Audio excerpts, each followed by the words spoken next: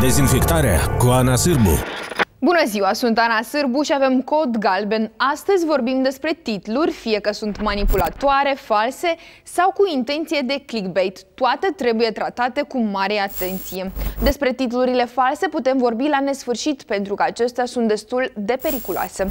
Iată un exemplu. Citez.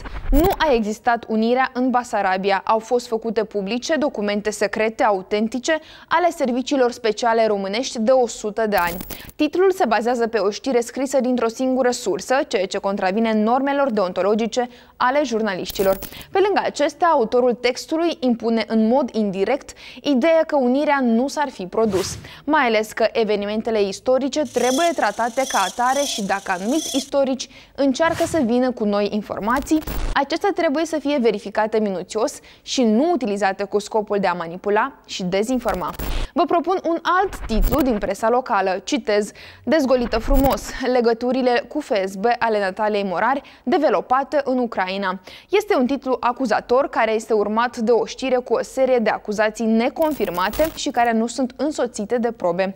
Astfel că acest titlu nu doar că dezinformează, ci și denigrează imaginea celor care apar în textul ce pretinde a fi un articol de presă. Mai ales că și în acest caz autorul nu a contactat persoanele despre care a scris pentru a le oferi dreptul la replică. Or, prezumția nevinovăției nu a anulat-o nimeni deocamdată. De la titluri false trecem la cele manipulatoare. Iată ce scrie Comsomolskaya Pravda, citez, Românii sunt de acord să toarne Moldova în sine. Aproape 60% din locuitorii țării vecine sunt pregătiți să se unească cu noi. Chiar dacă știrea este despre sondajul realizat de un grup suspect pe rețelele de socializare, din titlu se creează impresia că ar fi vorba de un sondaj important realizat la nivel național în România. Iar modul în care a fost formulat titlul, citez, Românii sunt de acord să toarne Moldova în sine, a avut drept scop de a manipula și interpreta mesajul. Iată încă un exemplu pe care l-am găsit pe publica.md. Citez, cetățenii susțin ideea PDM privind reforma Parlamentului. După ce citești această știre, inclusiv titlul, rămâi cu impresia că toți cetățenii susțin această idee, inclusiv eu. Iar dacă deschizi știrea, afli că în reportaj au fost incluse părerile a doar trei cetățeni.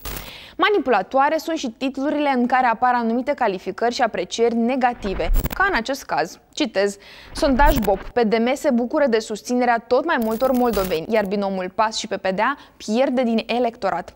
Termenul de binom are scop de a manipula, fiind o formulă utilizată de anumiți politicieni în anumite contexte, iar jurnaliștii ar trebui să le utilizeze cu atenție. Un alt titlu greșit este, citez, de săptămâna viitoare, mulți șoferi din Moldova vor rămâne fără permise de conducere. Titlul ne duce în eroare, creând impresia că și șoferii nevinovați ar putea risca să rămână fără permise, în timp ce, în realitate, este vorba de șoferii prinși în stare de ebrietate la volan.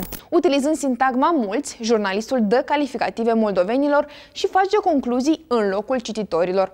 Există și astfel de titluri. Citez, a prins un crap uriaș și l-a dus acasă. A avut un șoc când a despicat peștele, care sunt clickbait, adică cu scopul de a vă intriga și a vă face să accesați știrea. Chiar dacă am vorbit de nenumărate ori despre aceasta, unii încă sunt atrași în plasa unor astfel de titluri. Aveți grijă, de cele mai multe ori acestea nu au consistență. Sunt doar câteva fraze care pot povesti un eveniment neimportant pentru dumneavoastră. Ca în cazul acestui material publicat. Un alt titlu din această categorie, citez, ofertă trăsnet pe care a făcut-o guvernul de la Chișinău Parlamentului țării. Este vorba de un proiect de lege, dar la fel se creează o impresie falsă despre acesta, numind proiectul de lege ofertă. Atât a fost pentru emisiunea de astăzi, dragi telespectatori, verificați informațiile, inclusiv titlurile, mai ales când vine vorba de instituții de presă care au clacat la capitolul știri manipulatoare. Nu uitați, confruntați și analizați informațiile. Rămâneți pe TV8, televiziunea oamenilor liberi.